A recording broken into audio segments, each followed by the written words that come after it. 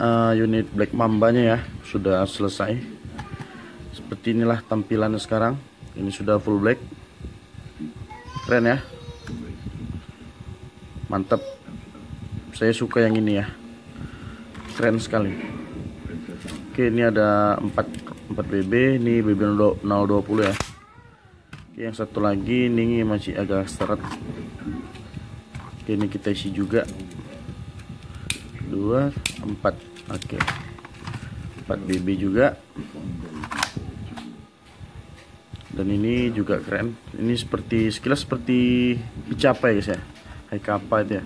Tapi ini turun dari Colt juga yang model desain model generasi barunya lah ya seperti ini kalau aslinya dia ini fiturnya bisa dilepas-lepas gitu ya bisa dicopot keren sih mantap oke kedua unit udah jadi kita mau tes kemari ya ini ada kaleng kosong.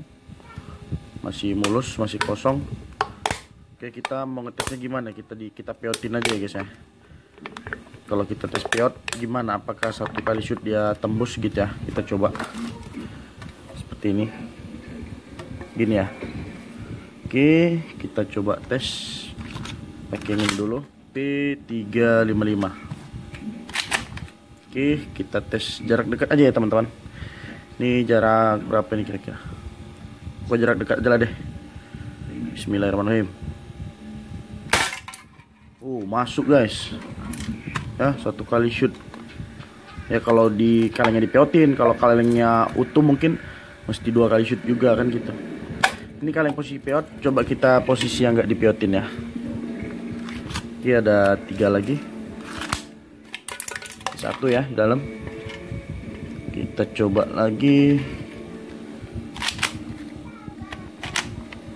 Sorry. Oke sorry mental. Tapi peot doang. Kita tes sekali lagi.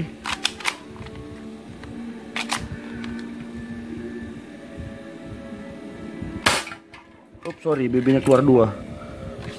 Nah kan betul. Sorry tadi double ya. Sorry sorry sorry Oke sekali lagi kita tes. Oke tembus. Berarti Harusnya ini dua kali shoot tadi tembus ya. Tadi karena BB nya double keluar Dia nggak fokus ngantem ya. Oke lumayan kenceng sih. Ya ini Kaleng nggak pakai air pakai BB020 tadi ya. Oke sorry. Mari kita coba lagi. Yang satunya lagi nih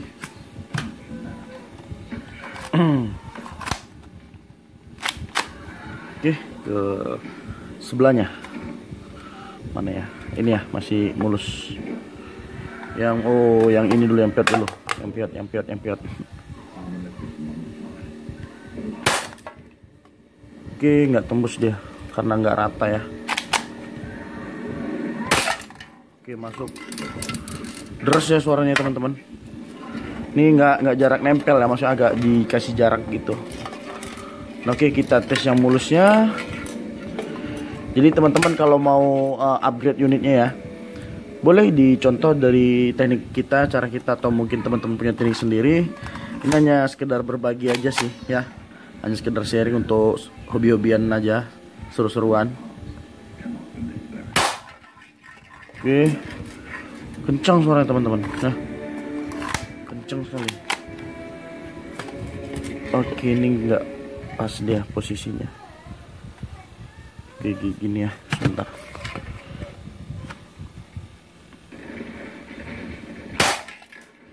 Oke, mereng, sorry. Sekali lagi kita. Oke, teman-teman. masuk ya jadi intinya pakai BB 020 sekarang dia sudah ketemu ya powernya sudah ketemu. Oke, ini sampai ngecap ya yang tadi di sini. Jadi kalau pakai BB 012 mungkin lebih kencang lagi teman-teman.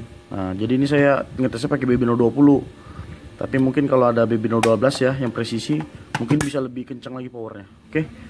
Mungkin sampai di sini dulu uh, share tentang ini unit apa? Black Mamba ya. Uh, cuman nge-share ini aja powernya karena saya nggak punya krono saya nggak tahu gitu kan berapa fps jadi saya nyobanya ke sini aja gitu kan. Tapi tadi nggak jarak deket nggak nempel ya tapi maksudnya agak dikasih jarak seperti ini ya kan. Kira-kira berapa sentimeter lah nih teman-teman terkaja sendiri. Oke teman-teman. Jadi ini sekarang uh, unit ini MP900 saya sudah downgrade pernya di per 1,1 ya. Kalau yang ini per tebal nih 1,322 sama ini.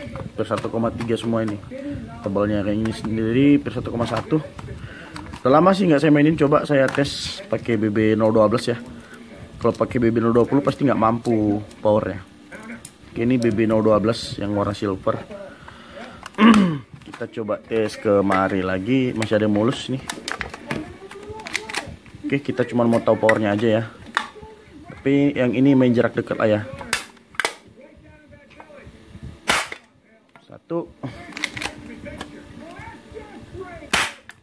dua udah bekas dia.